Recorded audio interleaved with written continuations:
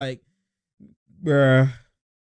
Lowry, just gotta keep pushing and keep pulling, man. That's what you gotta do. That's what you gotta do. That's what you ought to do. Come on, now. what we doing here? Double in.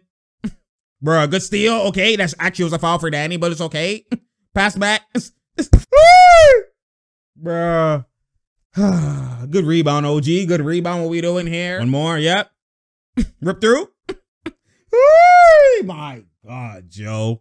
Bruh. And then obviously he's like, God damn, no, but stays here, stays here. They slapped it out and we can see on the replay. Off Siakam's fingertips, nobody touched the damn blood clot ball. How many plays has he have to suss? Is this the bubble? Oh no, the bubble was, you know, it was the bubble sussing me. I was in myself. This is who you always were. Bruh, Siakam, what are you doing, man? It's at, like blood clots. Screen. One four screen. One four, right? Are you guys ready? no one listening to Danny. My God, Danny. No one wants to hear your plan, G. They ran it. He threw it right at his legs, right at Embiid's leg. Come on, that's got to be a better pass, Simmons, man. what we doing? Okay, MB. Good pump fakes. Why would you double VanVleet? My goodness, Seth.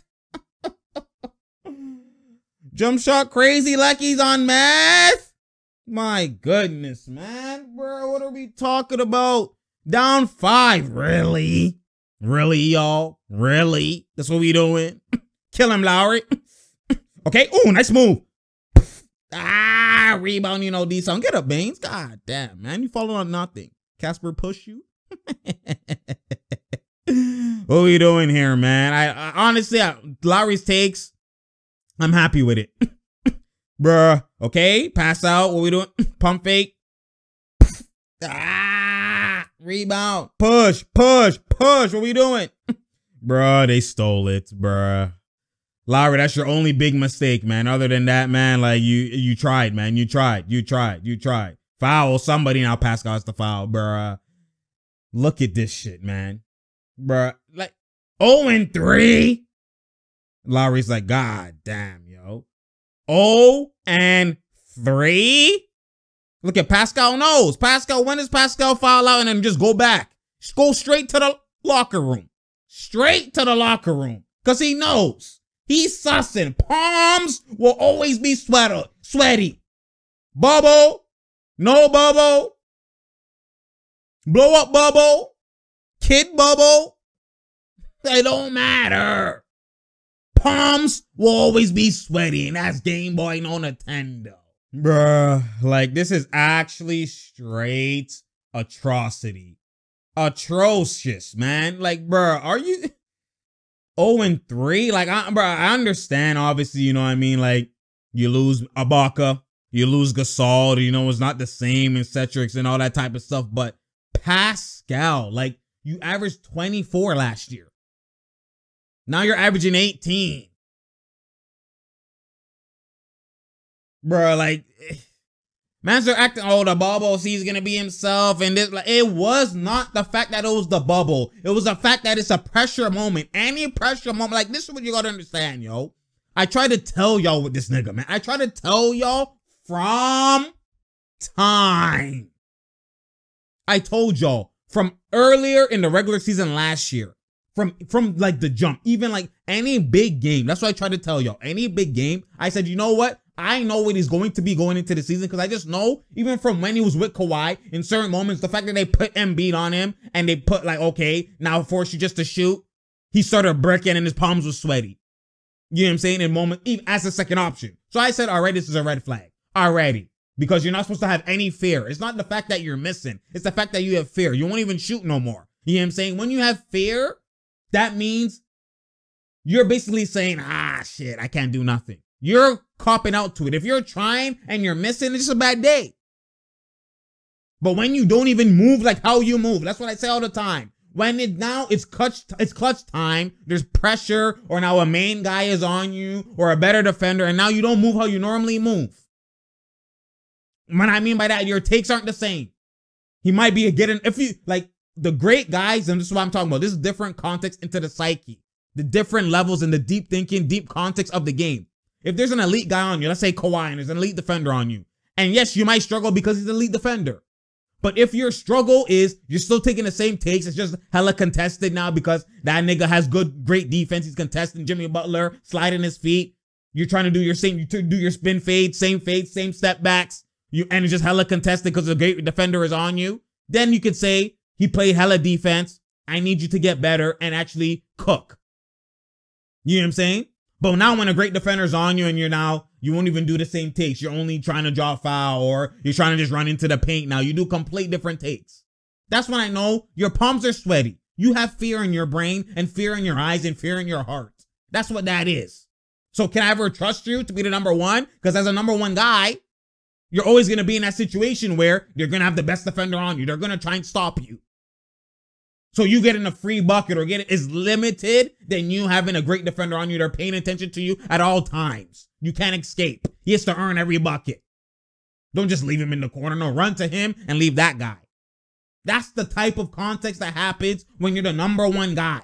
So as a number two guy, when you're already having fearful moments like that, all that great stuff already to me was erased because I know when Kawhi leaves, you're now have to be elevated to number one. I already saw flashes of those as the number two. This is called deep cut. This is called looking at IQ and understanding how things transpire. Not just looking at stats and be like, oh my God, Pascal. Looking at the context of the game. So I already called this from time. And even then, I gave this man the benefit of the doubt because y'all are obviously doing whatever you're doing. I said, you know what?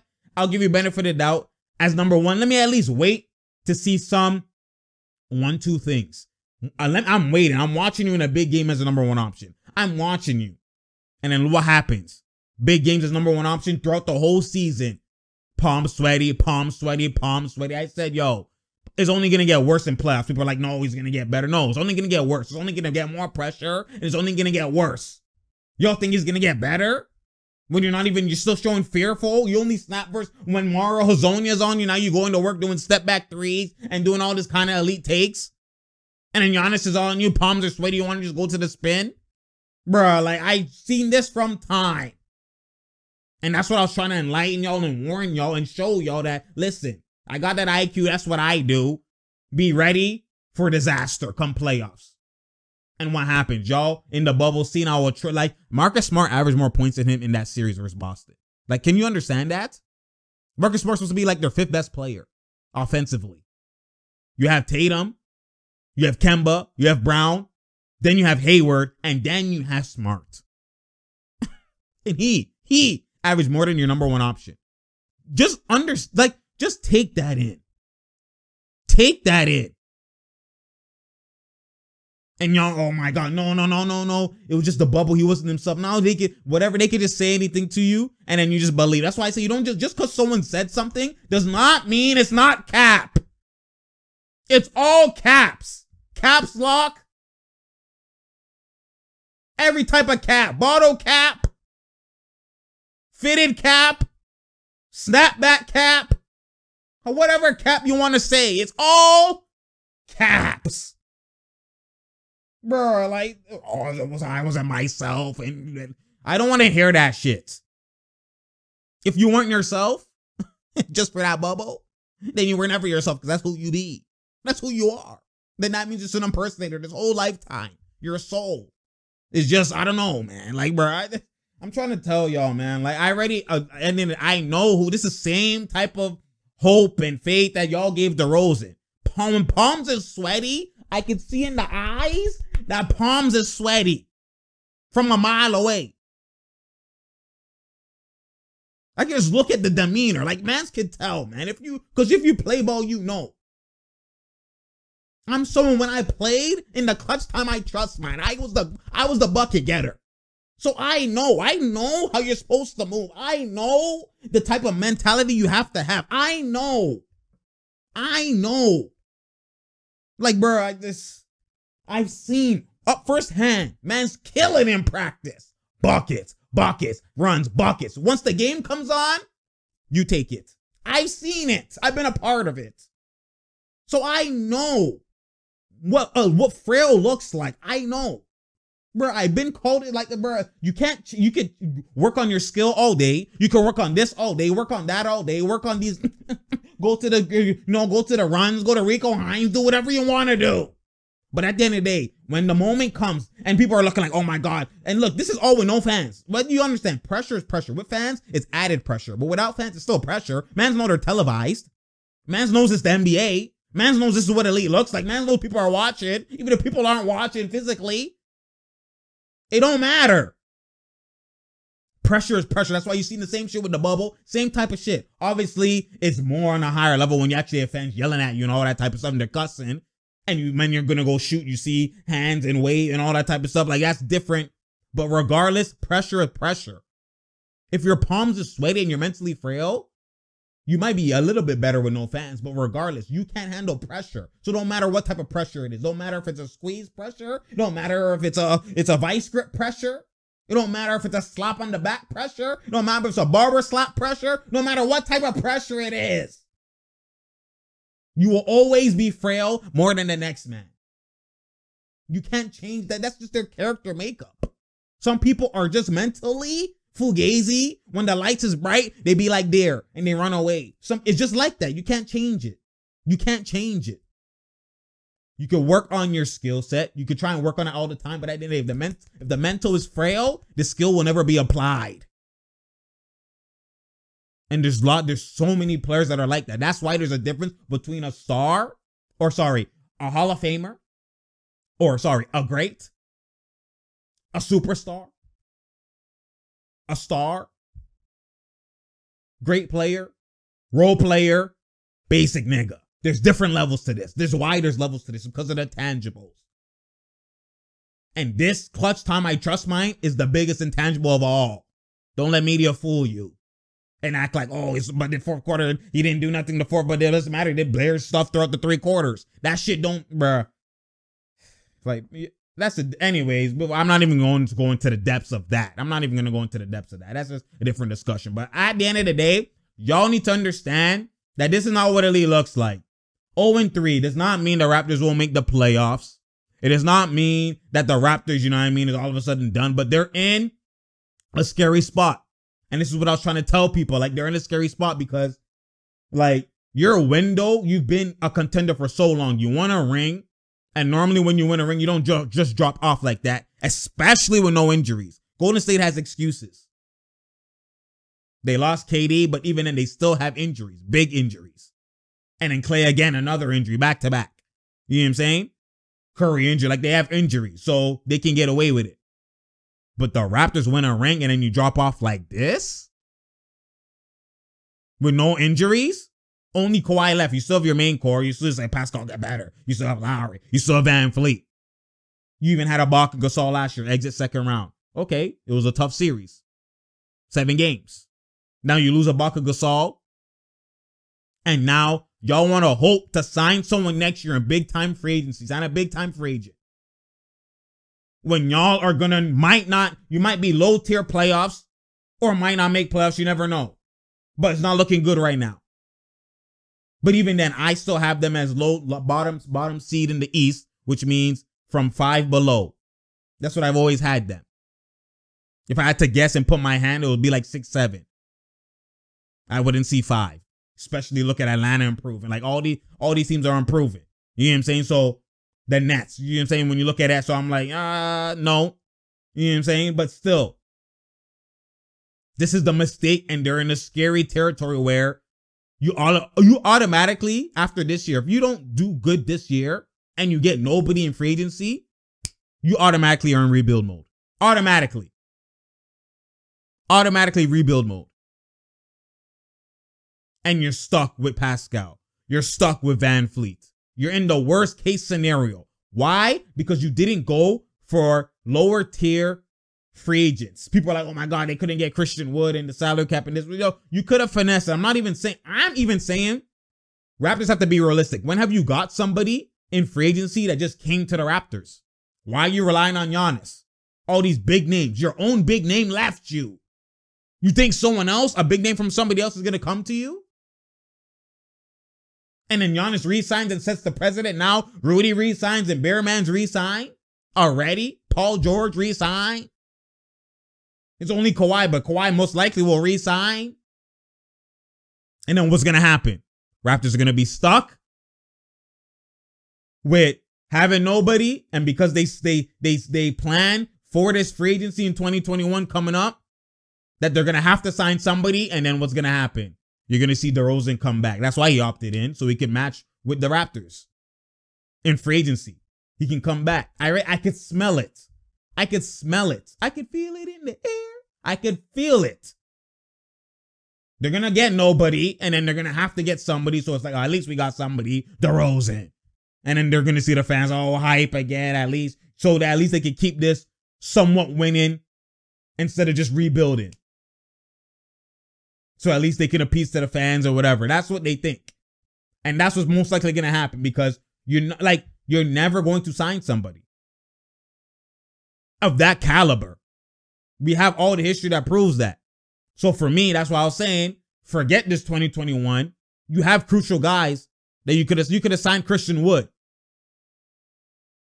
It's even big money. Doesn't mean he actually would have done it, but I know Raptors didn't pursue him like that because again, they didn't even sign Ibaka to a multi-year deal. So why would they sign Christian Wood who's looking for a multi-year deal? They I know they didn't even look at him. Ibaka they entertained because maybe Ibaka for one year could maybe stay.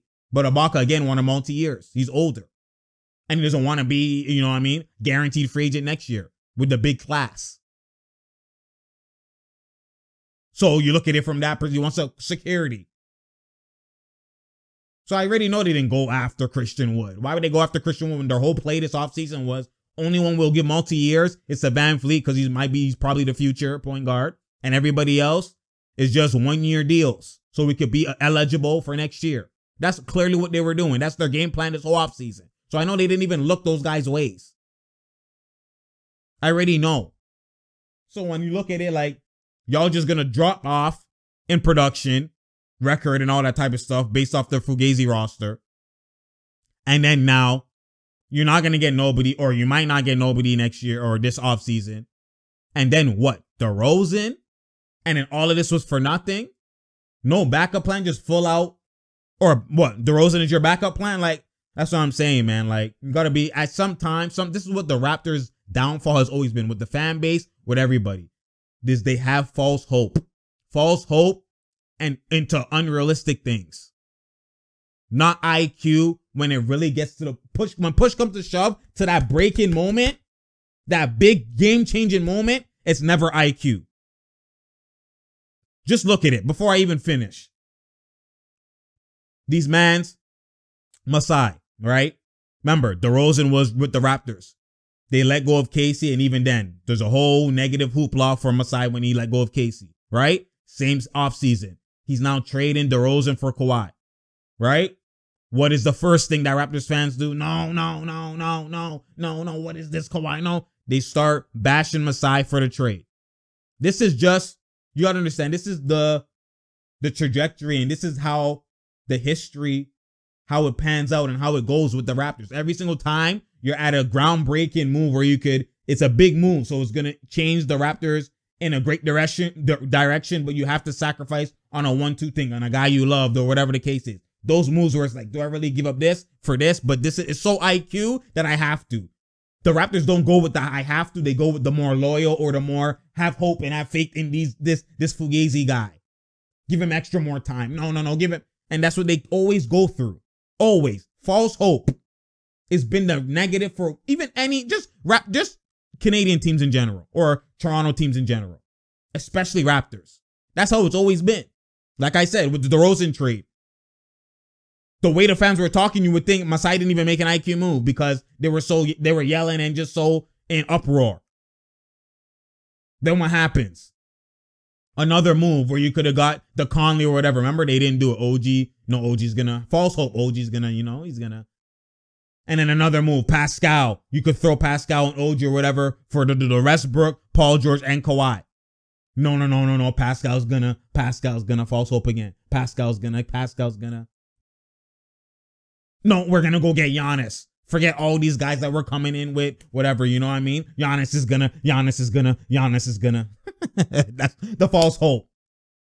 Consistently. Then what happens? False hope. Y'all were happy that they traded DeRozan. False hope. Now Giannis resigns, and oh my God, what do we really do? False hope. We should trade Pascal now. We should trade Pascal for Harden. That's what we should be doing. Forget Pascal, man. Enough of this guy. Always it comes down to that.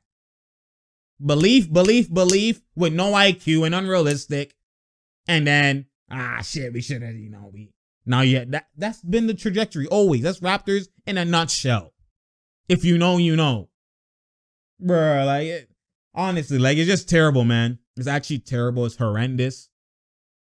I think the Raptors will have, like, if they go 0 4, like, let's see what their next game is. Like, bro, like 0 and 3 is already atrocious. Like, you're, you're bro, you're you're a bottom tier team right now. Bottom tier team. Like, bro, you guys are a bottom tier team, man. Like, this is actually crazy, man. Bro, it's just atrocious at the end of the day, man. Like, let's go see what do they have next. They have New York next. If y'all don't beat New York, if y'all don't beat New York, Listen, I can't even say if y'all don't beat New York, because if we look at, let's go look at the stands. I can't even say if y'all don't beat New York. How could I say that? When New York at least has a game, they won something. If anything, we should New York should be saying if y'all don't beat the Raptors, that's what it should be. Look how the roles have changed. Bruh. Obviously, I don't expect us to keep up like this and just stay like this, right? But New York is two and two. New York has won two games. Look at the old the O teams. Detroit 0 4, Washington 0 4, Raptors 0 3. Even Chicago won a game. Charlotte won a game. Like, that's what I'm saying. All the teams that were lower tier have improved. Orlando 4 0. We don't expect that to sustain. The Hawks 3 0. They look like they're going to be better regardless. I'm not saying no team is going to be 80 or 75 and 0, 72 and 0. The Pacers 3 and 1. Cleveland 3 and 1. Philly, three and one. Nets, two and two. They obviously lost one. Kyrie and them were out. The Knicks, two and two. Boston Celtics, two and two. Milwaukee, two and two. Miami's even one and two. But at least they have a game like 0 and 3. Like, bruh, it is what it is, man. We'll see, obviously. You know, I'm not saying that the Raptors are just going to be lottery team, but this could be one of those things where they just go, you know what? Pack it in. Can they? And maybe go for someone in the draft, but like, I don't, bruh. Like, you can't do that because you have your hopes. You're you sold everything on next year's free agency. So you doing that bad this year is gonna affect you, like I said, next year. So you had to next the, the off season of last year that just passed, or the season 2020 off season was literally correlate. It correlates straight to the 2021 off season. Like they went hand in hand. You can't have a great 2021 off season without a decent or solid 2020 off season because it changed. If your off season in 2020 is good, your team is at least still an intact, solid top four team, maybe five at worst. You know what I'm saying? Out second round, is you could still have a play to attract someone in 2021. But if you drop off, you know, we're not gonna eh, pick up anybody in 2020 off season. We're gonna keep leave it all out for the big fish in 2021. Now you have Aron Baynes and Alex Len. Now you don't actually do nothing. Let's say you eighth seed, seventh seed, and then you know get exit first round. You think you're gonna be able to affect change and bring someone in in 2021 free agency? You think someone's going to look at that and come to an eighth seed? A big fish? they thought about this all the way wrong. They thought about this all the way wrong. Bruh, it is what it is, man. Anyways, it's Tru Talks, because Tru Talks. Share, like, and subscribe. You already know we out here. There's no doubt here. There's no drought here. You feel me? Bruh. This is it's like it's just even just ugly watching. Like, and they be up. That's the only positive sign you could get from them is the fact that they actually be up. But is it really a positive? Is it a negative? Because the fact that you're losing in clutch, the fact that you're losing in clutch, I'd rather you be down and then come back in the clutch, but then you still lose. At least it's like, okay, we just got to fix the beginning. But the fact that you're up and in every game when pressure push comes to the shove, you be losing, that's a worse sign. That's actually a worse sign. I'd rather the other way around. Bruh, that's oh my god, yo. You already know, man. It's atrocious, man. Let me know what you think in the comment section. What the Raptors should do. Did you foresee this? I tried to warn y'all eh, for the last years. I tried to warn y'all, man. I tried to, and y'all just ridiculed the boy. But it's okay. It's okay. You know what I'm saying? At the end of the day, as long as y'all know, I knew first. As long as y'all know, I knew first. Bruh. oh my goodness, man. Bruh, we'll see, man. It is what it is. And I'm out, man.